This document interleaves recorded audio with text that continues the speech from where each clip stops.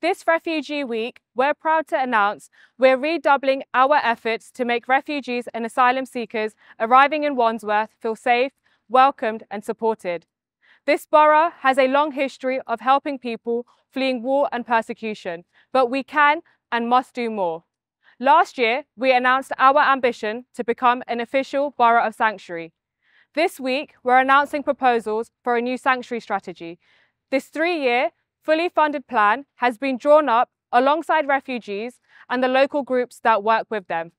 It will strengthen support, including accessing education and housing, and making sure children and families get the help they need to settle in Wandsworth. We are determined to provide a warm welcome and practical support so that everyone seeking refuge in our borough is proud to call it their home.